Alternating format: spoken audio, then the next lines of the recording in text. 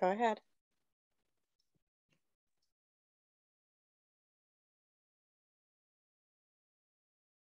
And Dr. Abouazem, you can, uh, I think we have enough people now, so you can feel free to start whenever you're ready.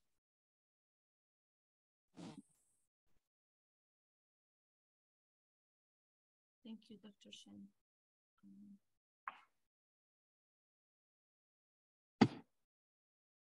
Uh, do you hear me well? Yes. Okay. Um, so uh, thank you everyone for joining.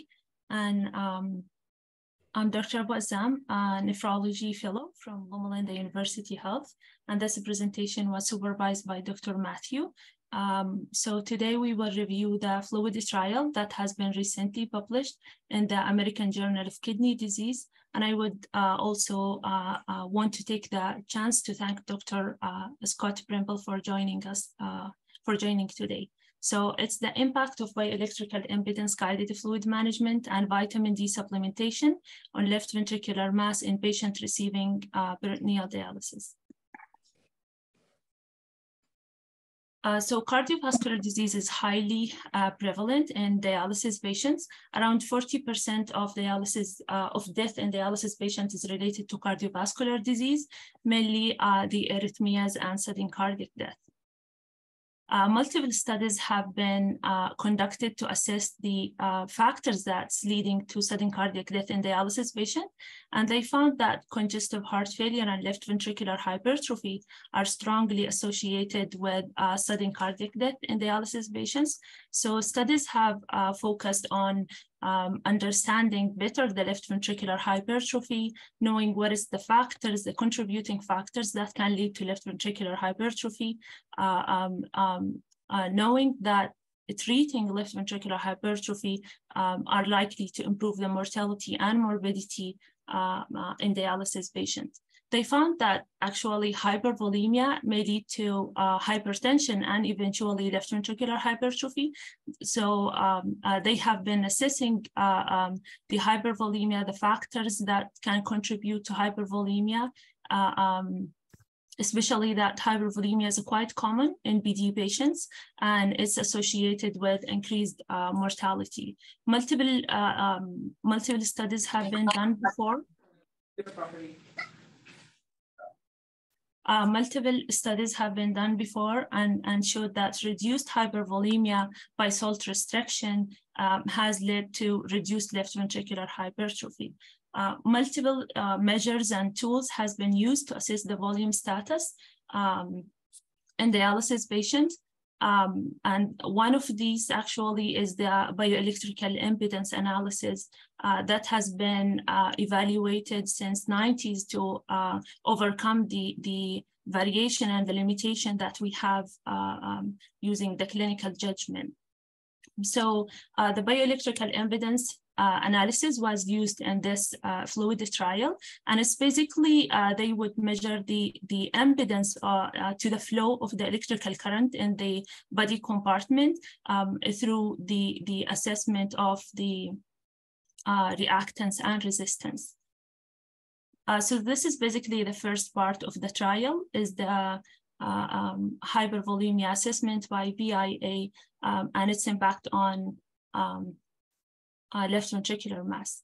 And the second part of the study is the vitamin D uh, supplements. So low vitamin D is quite common and is associated with uh, cardiovascular related uh, morbidity in dialysis patients.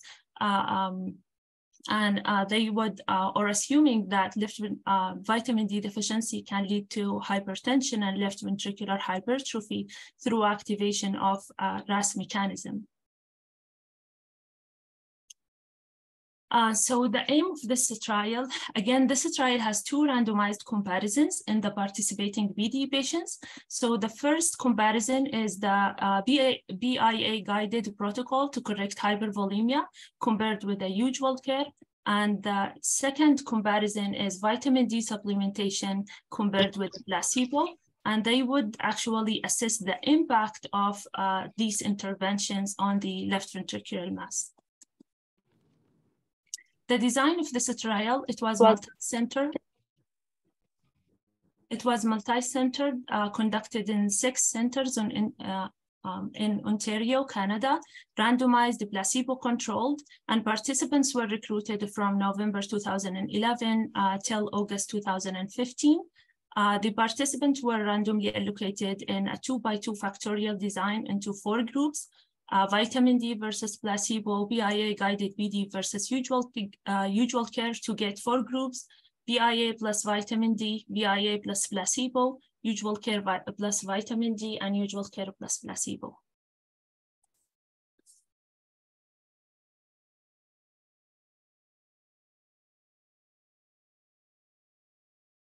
Uh, so they include in the trial participant of 18 years of age and older uh, who were receiving uh, peritoneal dialysis as the sole form of um, renal replacement therapy. And they excluded from the trial uh, the participants who had contraindication to BIA or cardiac, cardiac magnetic resonance imaging, uh, life or technique expectancy less than one year, uh, recent peritonitis, non-icodextrin or cholecalciferol intolerance, current ergo calciferol or uh, cholecalciferol use, and hypercalcemia with a serum calcium uh, more than 2.55 uh, millimole per liter. So for the trial procedure, in the first randomized comparison, all participants underwent CMR at baseline and at one year, and all participants underwent BIA evaluation at each clinic visit, um, um, mainly every two months. In the usual care group, um, the change in, changes in medication and dialysis prescription is basically made by the primary nephrologist based on the clinical assessment. Changes to treatment and goal weight were not recorded.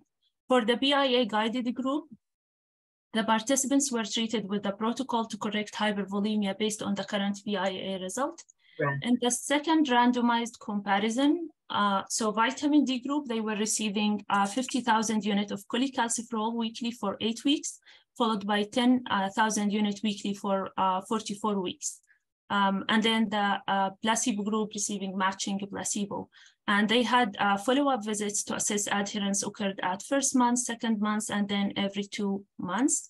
The use of non-study vitamin D and its analogs were recorded at each visit. This is the protocol that has been used for the um, assessment um, and management of hypervolemia and uh, um, in the BIA group. And there was two uh, protocols, separate protocols, one for CAPD patients and one for APD patients.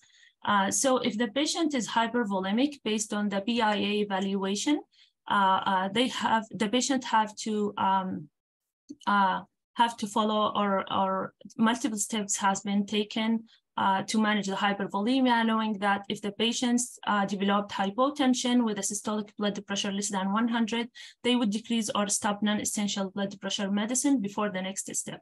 So the first step, uh, if the patient is hypervolemic, they have to patient to meet with a dietitian, reduce daily salt intake to less than 80 millimole, um, increase diuretics as needed. And there was a protocol they were following uh, to increase the diuretics in patients with residual renal function. So the first um, the first step is to give uh, furosemide 80 to 120 milligram twice daily. If the patient is still hypervolemic, they would increase the dose to 120 milligram twice daily and add metolazone 55 uh, milligram daily.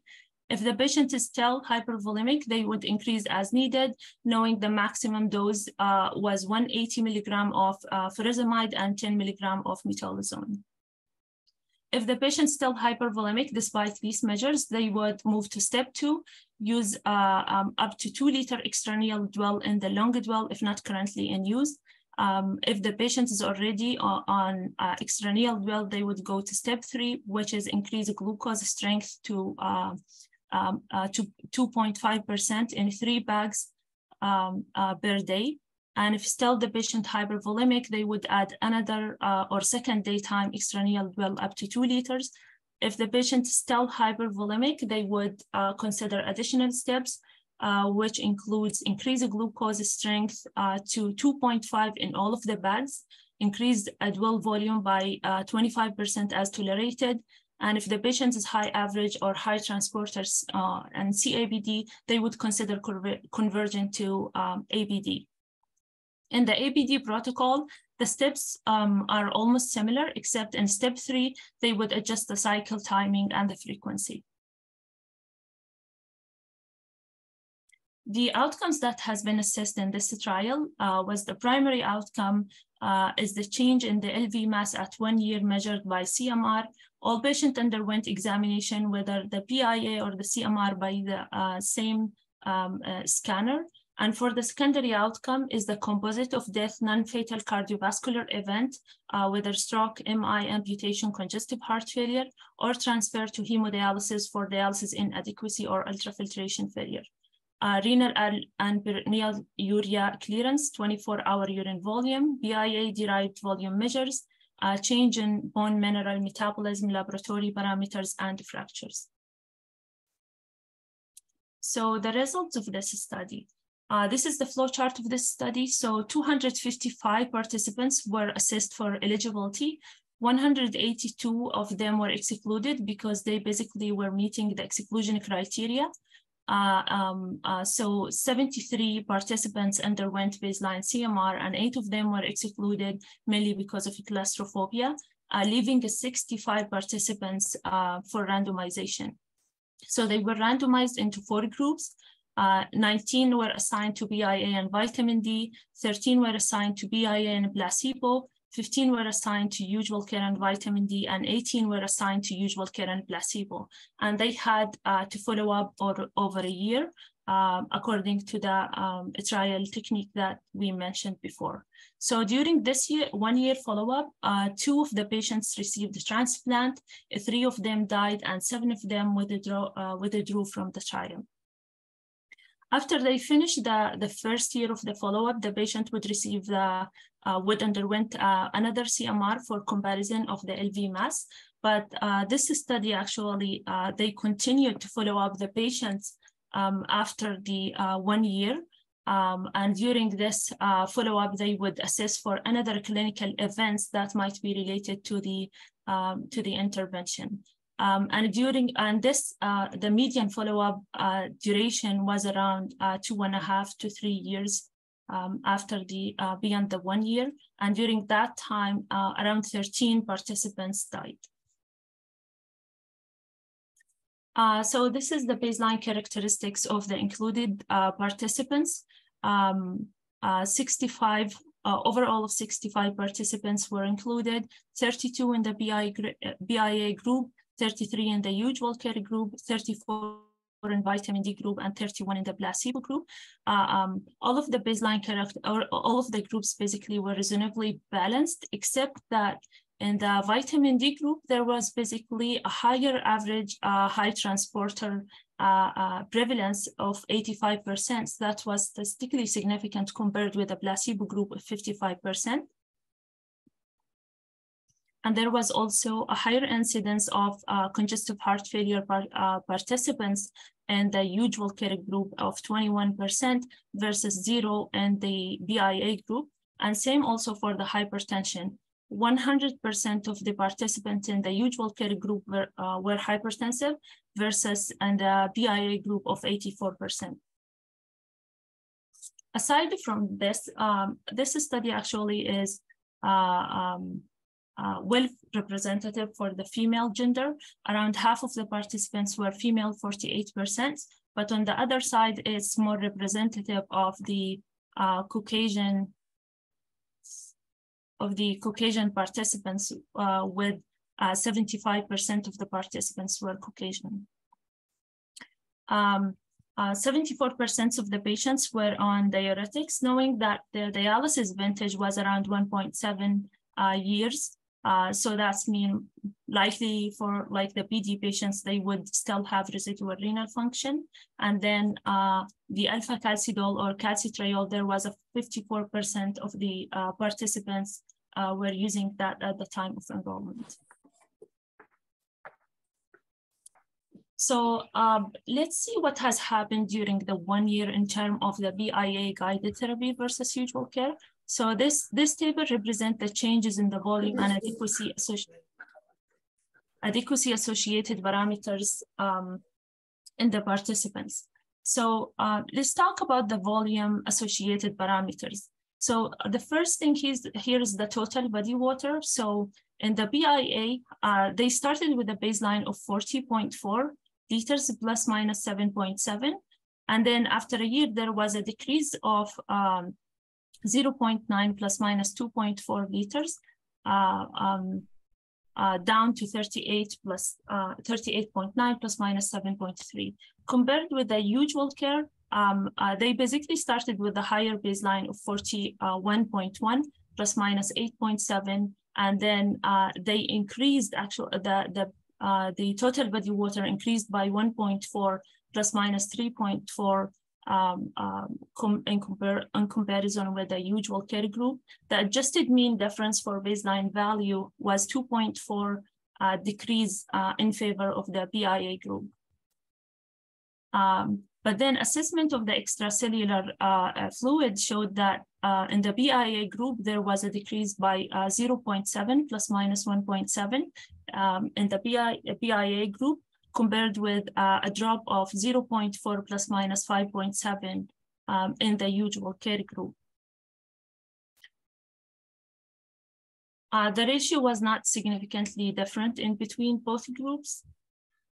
And then looking to the hypervolemia, um, it's around half of the patients in the BIA group were hypervolemic at, uh, um, at baseline, around 44%. And in the usual care group, there was uh, more hypervolemic patients, 61% of the patients. And now looking to the adequacy associated parameters in the participants, the weekly renal, peritoneal, and total KT over, over V um, has not significantly changed in, in both groups. Uh, but if we look to the urine output, the in the BIA group, uh, the the participants uh, has a baseline of 1,057 plus minus 513 ml of urine output. That was uh, uh, decreased by 424 plus minus 602 in the BIA group, and this decrease was higher in comparison with the usual care group, where they uh, had a baseline of 956 plus minus 597. Uh, that was um, uh, decreased by uh, 235 plus minus 806 uh, ml. And the D over P creatinine has not significantly changed between both groups. The proportion of BIA group participants who made the corresponding number of steps in the volume management algorithm. Uh, so at the end of, uh, of the uh, first year at 12 months, there was around 50% of the participants who uh, did not had any steps, um, um, who did not make any steps in the volume management algorithm. And then um, around the 20, uh, 15 to 20% had just one step and the rest had um, um, up to five steps. And the reason for non-adherence was um, hypotension, participant refusal, hospitalization, and use of non-protocolized intervention based on clinical circumstances. Uh, so the outcomes of this trial has been uh, classified according or according to BIA intervention and according to vitamin D intervention. Um, so reviewing the primary outcome according to the BIA intervention. So basically there was no significant difference in the LV mass uh, in the BIA group compared with the usual uh, care group. And so the left ventricular mass in the BIA group, um, BIA group at baseline was 141.2 uh, plus minus 44.2 there was a, a change, uh, there was an increase actually by 1.3 plus minus 14.3. Compared with the usual care group, they started with a higher um, LV mass uh, at baseline 145.8 plus minus 57. And, the, um, and by the end of the year, uh, there was a decrease by 2.4 uh, plus minus 37.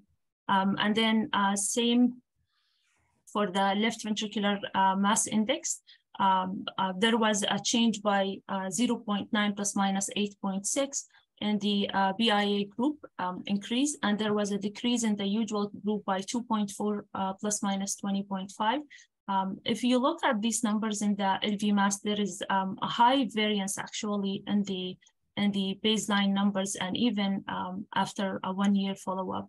But despite this difference between the usual care and the BIA group and the results, it was not statistically significant. And one important thing to mention here, that left ventricular uh, mass index, um, this is the normal values. So based on the baseline numbers, it's mainly uh, um, significant or high numbers uh, for females, not for males. The left ventricular end diastolic volume and systolic volume and stroke volume um, and uh, uh, ejection fraction has not uh, has not significantly changed uh, um, in comparison between both groups. And uh, this is the subgroup analysis for the primary outcome, uh, comparing BIA versus usual group adjusted for baseline uh, values and congestive heart failure, anuric versus non-anuric, APD versus CAPD, high um, high average transporter versus low low average transporter and uh, post hoc analysis of uh, volume expanded versus non-volume expanded, there was no uh, significant interaction between the groups. And now moving to the changes based on the vitamin D supplementation. So this table represents the changes in uh, bone mineral uh, metabolism value in participants who were receiving vitamin D or placebo. Uh, so again, in vitamin D, there was a 34 participants compared with the placebo, there was a 31 uh, participants.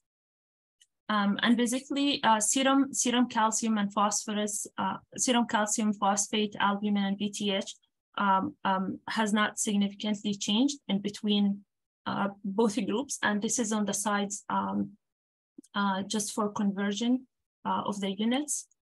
For the serum vitamin D, uh, 25 hydroxyvitamin D, and the vitamin D group, they started with a baseline 51.6 plus minus 29, and there was a change of uh, by 17.2 plus minus 30.8. Uh, compared with the placebo group, they started with 48 plus minus 21, and there was a decrease by 8.2 plus minus 20.4, and this result uh, was statistically significant. Um, and they also assessed the 25 hydroxyvitamin D replete.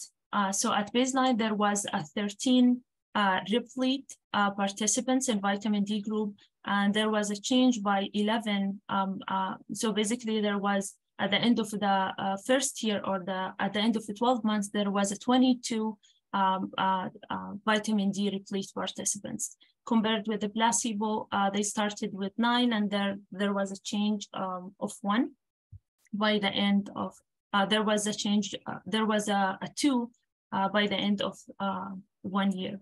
And then for the alpha calcidol and calcitriol dose, so in vitamin D patient, there was a decrease of the dose by uh, 0.28 plus minus 0.41 in the vitamin D group, compared with um, an increase in the dose in uh, the placebo group by 0.12 plus minus, uh, 0.42. And this result uh, was statistically significant. So the primary outcomes according to vitamin D intervention, and again, there was no uh, significant uh, uh, change in the LV mass um, um, between both groups. And uh, this, this uh, table actually represents these in numbers. So in, in um, vitamin D group, there was a decrease by 3 plus minus 28 um, um, by LV mass um, at the end of the, or during that one year. And then the placebo group, there was a, an increase by two plus minus 31 in the LV mass.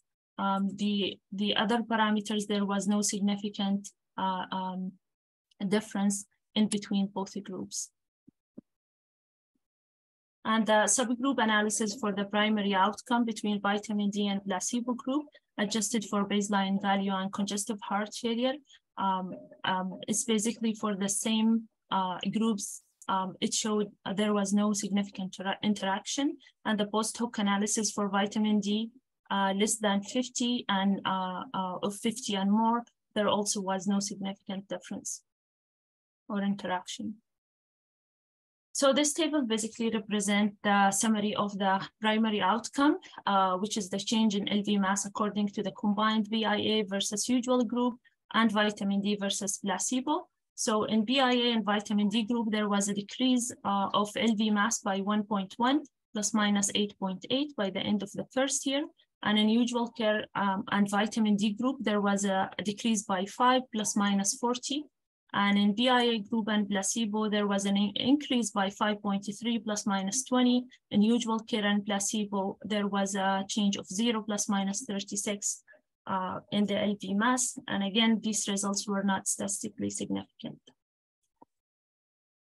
For the secondary outcome, um, for the secondary outcome, so basically there was um, no statistical significant difference uh, in between the groups except for the um, uh, the death in the vitamin D group versus placebo, there was a higher uh, uh, mortality in the placebo group when it's when it was compared with vitamin D group uh, by 39% uh, in placebo group versus 12% in vitamin D group.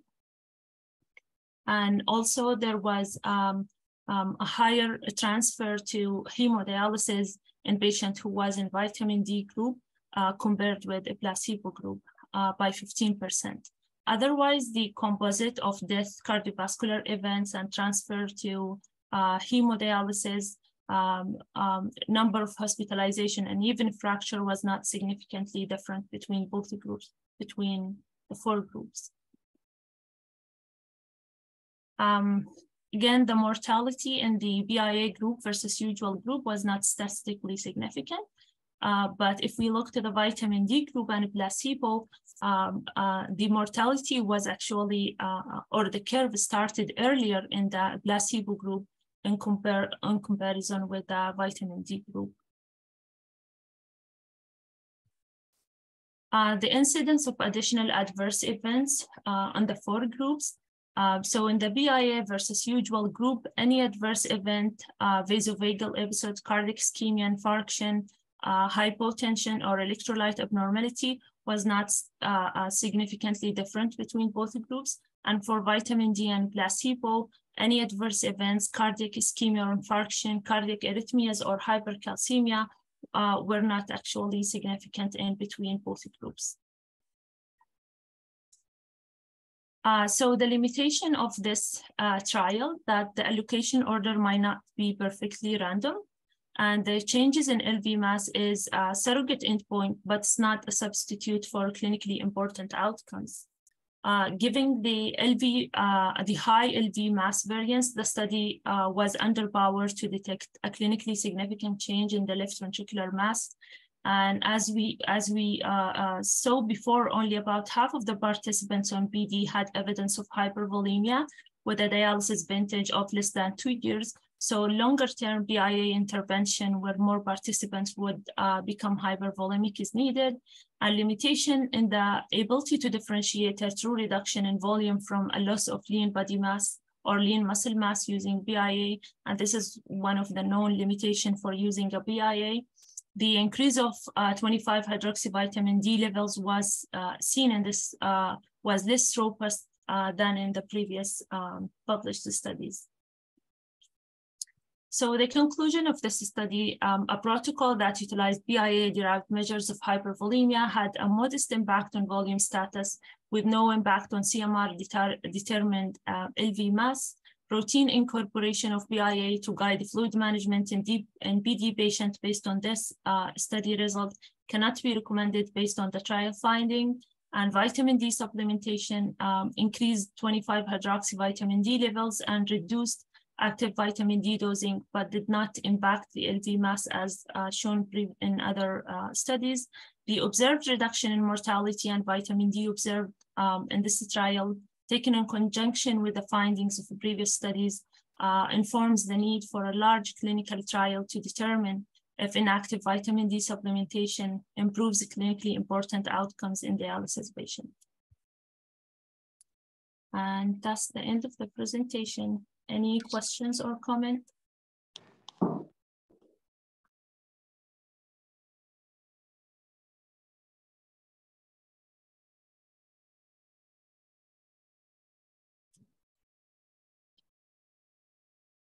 That was a great Oh. job, Farah. Yeah. And I I think we'll just, oh, I'm sorry. Uh, Go ahead, Jen. Oh, no, go ahead. I was gonna see if anybody wanted to start off. Um, so um, I'll kick off the discussion. I just want to read off some um, comments in the chat.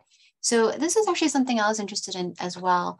Um, looking at the differences in terms of the residual kidney function and also the urine output, because that is something um, that I always kind of keep an eye on is when I try to intensify the prescription to take care of the hypervolemia. I always worry that the urine output is going to drop off. I've never had it drop off completely, which because I feel like if I have the urine output cut, cut off completely, then I'm probably drying out the patient. Um, but sometimes it is alarming, especially to the patients when they say, I'm just not urinating as much. Um, but uh, Matt was Matt Rivara, um, who is the co-host of this uh, journal club, wanted to make a point in table two that it looks like there's no difference in the change in the weekly renal KT over V between the two groups. And that's kind of reassuring because some people had had some concerns about BIA targeted volume management and residual kidney function. Um, did note that the urine output did drop off more, um, but as um, Dr. Matthew pointed out, the numeric decrease in urine output was not significant. So even though the urine output in the BIA group went from 1,000 uh, milliliter to 633, so a drop of about 400 uh, cc's, um, and for the usual care group, they went from, again, about a liter 956 down to 721. So that was a drop of only 235 cc's um, that difference wasn't statistically significant. Um, so I didn't know if anybody else had anything else to add about that.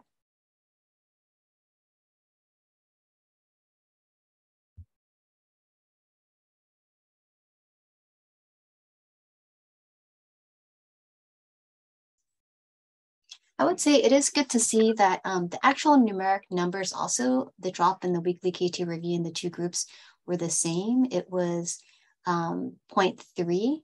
So it's nice to know that even though there's a bigger drop numerically again in the urine output, um, the clearance, uh, the difference in the clearance was still about the same, um, which I think uh, again was was reassuring. Um, ben uh, Ben Lidgard was asking if, given that we know that there are differences in the left ventricular um, mass um, between the two sexes, you know, with the caveat that there were some low ends here where there results stratified by sex for the left ventricular mass outcome. Um, and Dr. Brimble noted that it wasn't pre-specified. Um, in retrospect, probably would have been a good idea, but again, there are some small numbers um, that were at play there. And I'll go ahead and open up the floor for any other questions.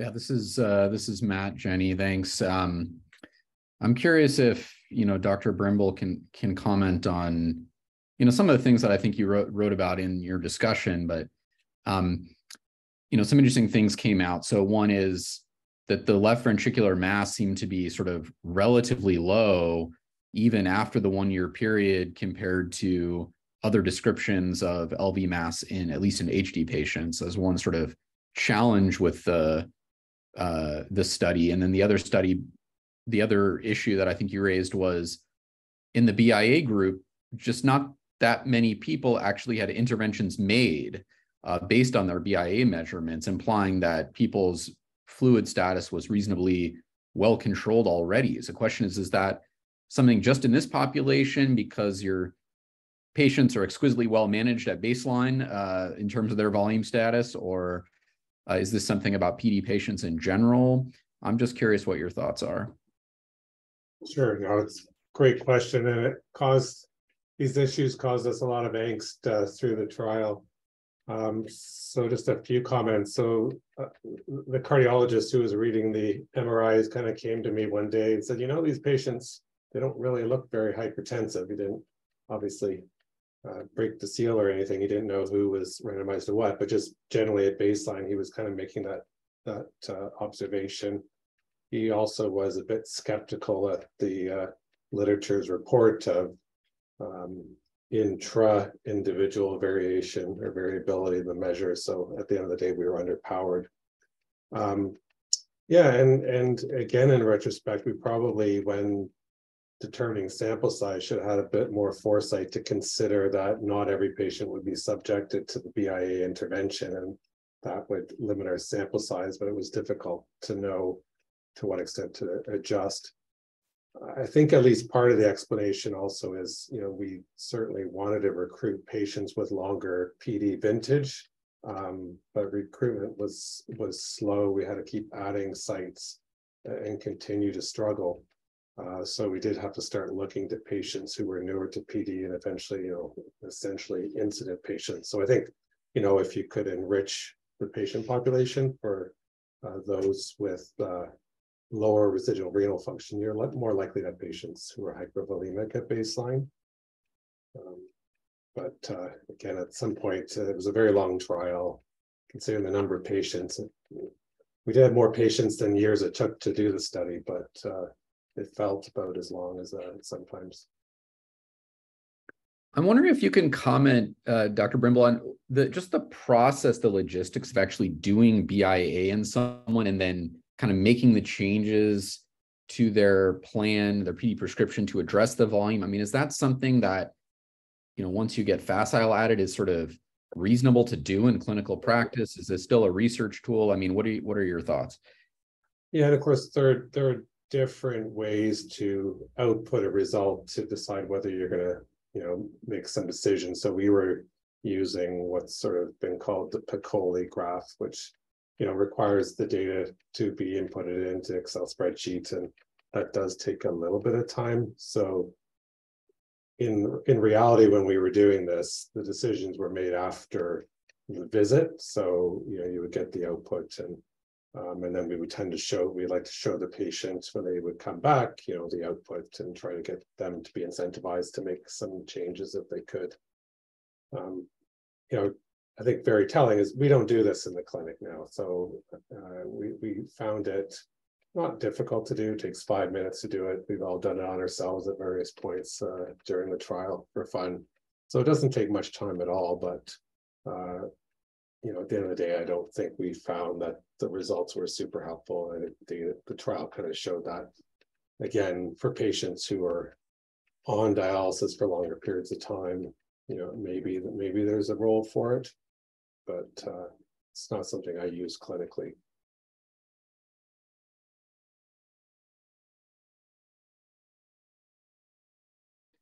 So, I mean, it seems like um, based on the conclusions that you had in the paper, know, your feeling currently is that, you know, BIA measurements of hydration status certainly are predictive of outcomes in dialysis patients, but that that second step of sort of using that to guide volume management, mm-hmm. you know, this along with the other studies, at least in PD patients, there just doesn't seem to be the evidence base to support this uh, sort of use in clinical practice. Is that a fair fair assessment?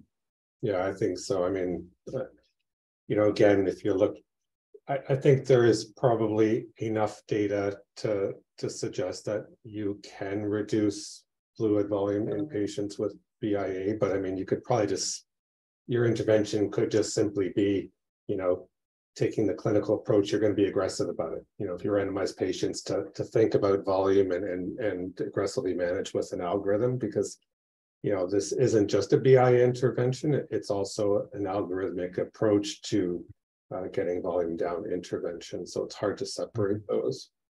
Uh, so we we we have done a meta-analysis of BIA and PD that's not out yet, but uh, I do believe it was positive for for a volume reduction depending on how you measure it. But yeah, we don't use it. The other thing I just might add, and, and uh, uh, Dr. Abuazam did indicate this, but you know, you can see there's uh, even on the on the table three there, there's significant drop off in patients who um, did not do the one year MRI who were excluded. They had higher LV mass, substantially more. So it was hard to get patients who were probably already pretty sick, you know, longer vintage to get through a one year trial. Um, so again, that's a, definitely a limitation of the trial um, that we lost a significant number of patients to the one year MRI and they were, for whatever reason, tended to have substantially higher LV masses.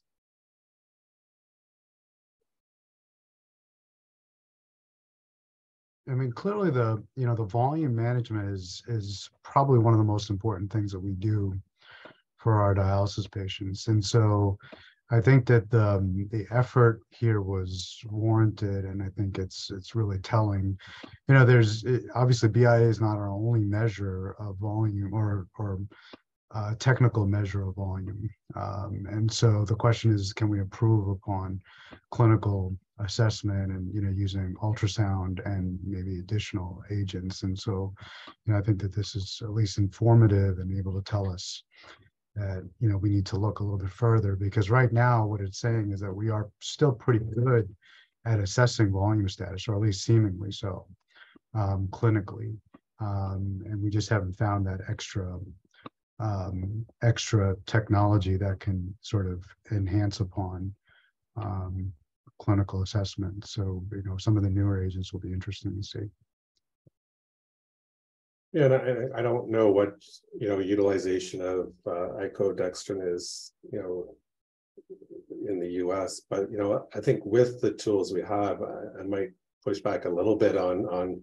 On how important volume is in these patients, you know, used to, uh, I've been around long enough to know, go through the years of it's all about adequacy, it's all about adequacy and.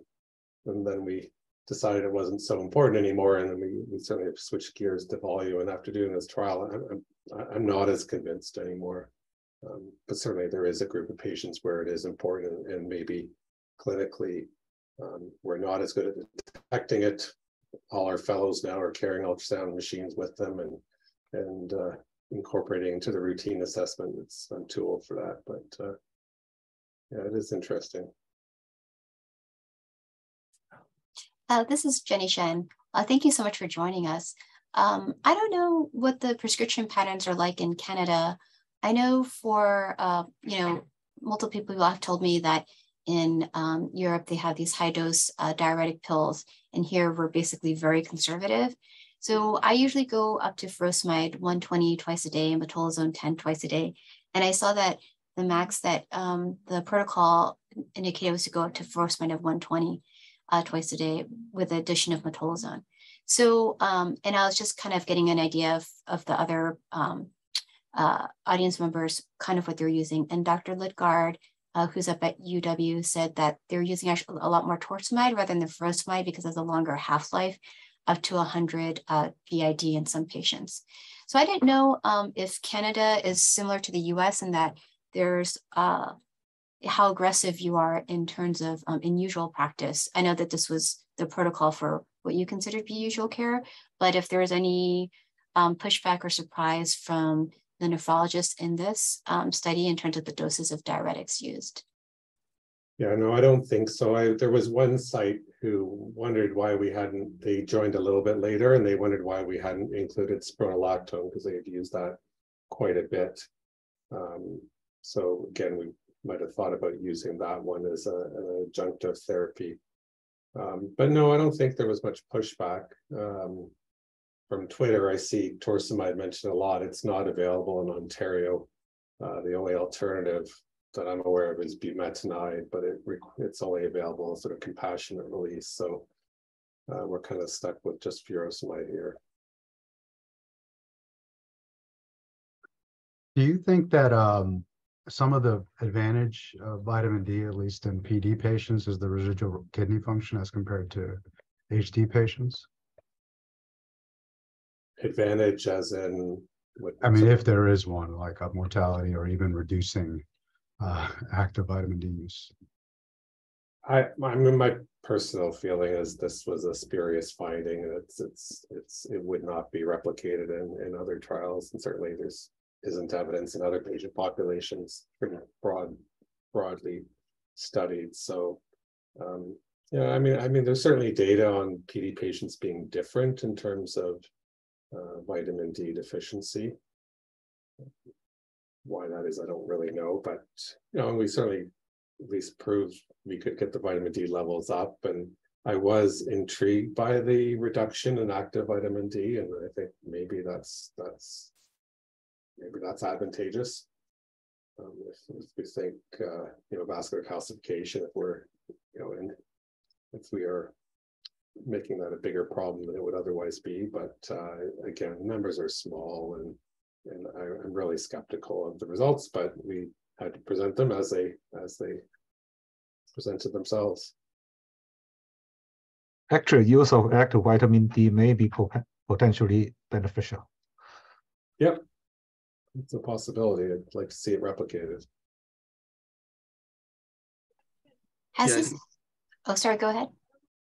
Thanks. Uh, I certainly think the vitamin D findings are intriguing. Um, definitely kind of flies in the face of what we might see in the larger randomized trials in the general population. Um, and even some of the findings in the CKD population as well, not necessarily showing CV benefit for vitamin D. Um, but yeah, it, would be intrigued to see what any larger trials might show. Just because we have so few agents that actually improve cardiovascular mortality in dialysis patients. Yeah, and to be honest, the vitamin D was an afterthought. We had gotten funding for the BIA intervention and um, the the group, the research group that helped us to run the clinical trial, PHRI, they've done, you know, Hope ONTARGET, Transcend, all the all the big cardiovascular trials, and they said you should do a factorial design, come up with something cheap. And vitamin D was popular at the time, so we just added it very last minute. maybe this will rekindle some of the popularity. I'm not sure. We'll see. Then, Dr. Brimble, has this changed your clinical practice at all or how you teach? Nope. nope. Almost a decade of my life. Dr. Brim, do you have um, some sort of insights into because the other thing that was intriguing, just in terms of clinical trial design, uh, or maybe more um, worrisome, is despite a simple design, you had trouble recruiting patients. I mean, do you want to maybe comment on that? At least it's, I think that's important for some of the fellows and even for us to know just for future design of or future planning for trials. Sure. Yeah, this, I mean, this was my second RCT. The first one was in the hemodialysis units and anemia management algorithm. And that I was actually a fellow when I started that one. And, and I thought it was the easiest thing to do in the world. And why don't we all do these all the time? And um, so, you know, again, big difference between a captive population and a hemodialysis unit, you know, shorter duration, um, pretty, pretty easy to conduct um, and then moving to PD and outpatient therapy. Um, and the cardiac MRI was a big obstacle. So, you know, again, even though these patients aren't in a dialysis center, they, they still seem how somehow managed to talk to each other and uh, word got around that doing a cardiac MRI isn't necessarily the funnest thing in the world to do. So we had attrition, even those who went in, we had significant attrition that we didn't even randomize. And we at least had enough foresight to um, so basically you had to be able to do the first cardiac MRI to be randomized. So we did at least think of that. So yeah, it's it's there were a lot of obstacles. I'm not sure how simple a trial it was, and, and the end of the day, the the intervention was at least on the BIA side was quite complex. The vitamin D easy was definitely a straightforward one but the cardiac MRI was a pretty significant disincentive for patients. Um, some centers didn't see their patients as often as we had assumed they would. So asking patients at some of the other centers to come back to the clinic more often than they otherwise would was another disincentive. So yeah, I mean, at the end of the day, doing randomized trials is, is not easy for the most part, um, but it is the highest quality of evidence that we have. So I do encourage the fellows to consider getting involved, um, you know, at, at, the ground level with these trials. But uh, if I learned anything, it's make it as simple as you can.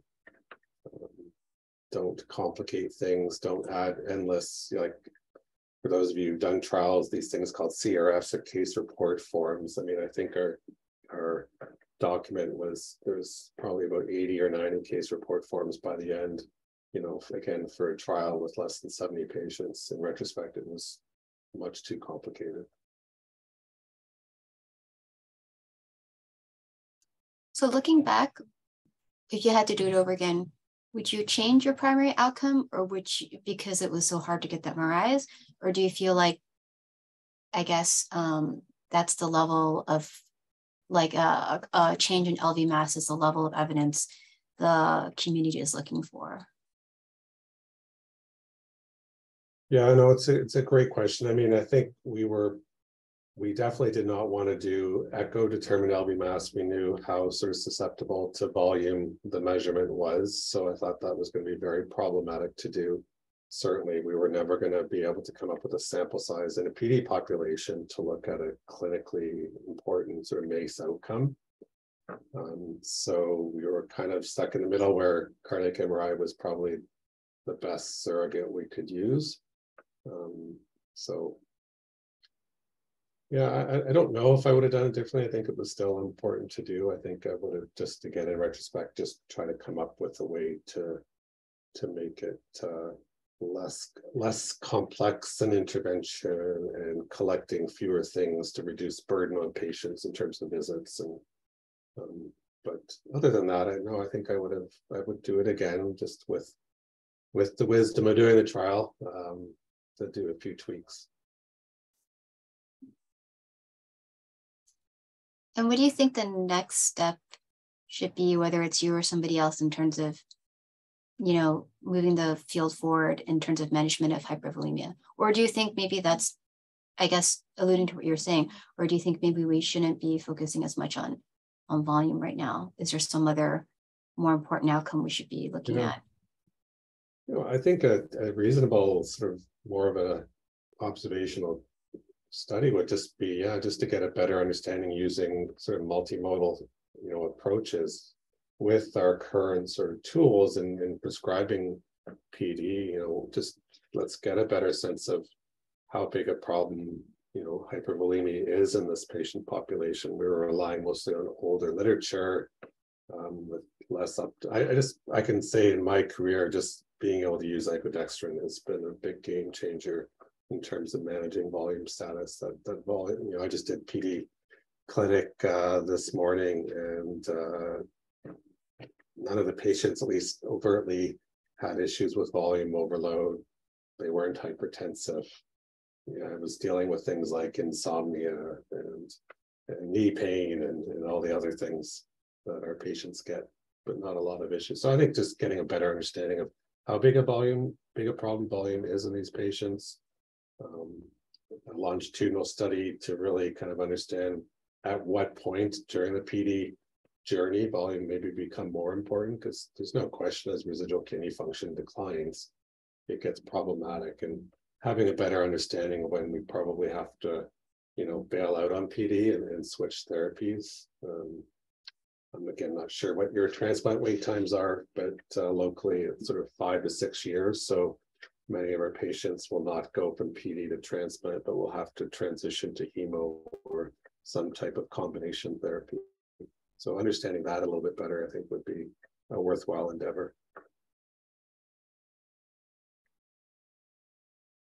Roy, go ahead. Did you have a yeah, question? Yeah, just uh, actually, just quickly, I almost forgot to ask this, and and I don't know how much to make of this, especially since a lot of the changes were sort of equivocal. You know, the blood pressure did go up in the BIA group, and the diastolic significantly. So one of the questions, I mean, I'm not really sure how to explain that, other than, do you think that maybe some of the uh, was due to lowering of medications in the BIA group in response to hypotension, and maybe some of the LV changes were mitigated by stopping ACE inhibitors. Do you think any of those could have contributed? Yeah, I definitely think that's that's possible, right? I think that's a possibility. I mean, there there wasn't it wasn't stipulated that they had to lower the blood pressure pills or doses unless hypotensive, but you know there was a lot of sort of discretion at the hands of the person making the prescription changes. They may have anticipated a problem um, with the intervention and, and made a co you know coexisting reduction. So it's certainly a possibility that certainly could have mitigated things.